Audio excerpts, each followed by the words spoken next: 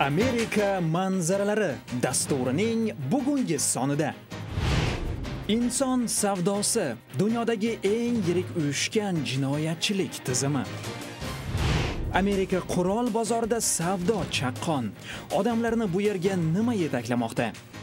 Ikkinchi jahon urushini xotirlab faxriylar bilan suhbat. Bu va boshqa rang barang dolzarb mavzular tafsiloti bilan amerika ovozi televideniyasining vashingtondagi studiyasida navbahor imamova. Assalomu alaykum. Qo'shma shtatlar xalqi hayoti va global mavzular haqidagi ko'rsatuvimiz yana huzuringizda. Odam savdosi zamon balosi lekin uning tarixi bu jinoyat ortidagi sabab va omillar g'oyat murakkab.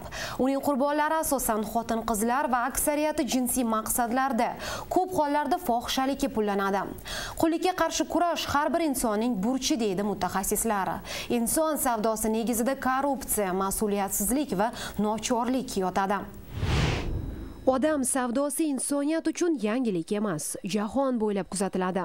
Ekspluatatsiya jinsiy zo'ravonlik va qulchilik bir biri bilan chambarchas bog'liq.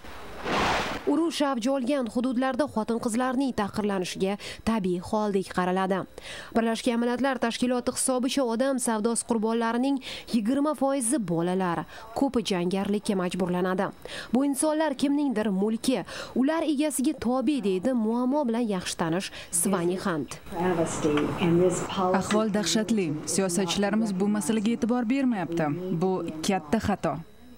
Agar deydi bu sobiq diplomat vashington inson savdosiga qarshi jiddiy kurash boshlamasa kelasi 5 yil ichida bu jinoiy tizim qora dori savdosidan ham o'tib ketadi ayollarning jinsiy maqsadda pullanishi ortida qator sabablar bor xotin qizlar savdosini asosan erkaklar tebratadi lekin ularni bu tizimga tanishtirayotgan omil bu qashshoqlik imkonsizlik zulm dunyoning qay qismiga bormang o'zini sotib kun ko'rayotgan ayollarni ko'rasiz. Eng qadimgi kasb. Iqtisodiy krizis sharoitida o'qimishli xotin qizlarning ayrimlari ish topolmay o'zini fohishalikka urmoqda deydi bunga qarshi kurashuvchi idora rahbari mark lagon. Odamlarning o'z taqdirini birovning qo'liga topshirishiga uning quliga aylanishiga asosiy sabab bu iqtisodiy yetishmovchilik. Bundan boshqa muhimroq sabab yo'q degan bo'lardim. Qulchilikni taraqqiyot yengadi deyishadi. Ammo talabgorlar baribir topiladi. Barcha hukumatlar jinsiy savdoga qarshi siyosatni kuchaytirib uyushgan jinoyatchilik ildiziga yetish uchun choralar ko'rishi kerak. Bu murakkab vazifa ammo ayollarni hurmat qiladigan jamiyat ular savdosini yo'qota oladi. Talabni kamaytirish uchun bu xizmatlar taklif qiladigan maskanlarni yo'q qilish kerak deydi mutaxassislar. Inson savdosiga qarshi kurashning yana bir yo'li bu ta'lim sohasini yaxshilash. Odamlarni bu balodan ogoh qilish.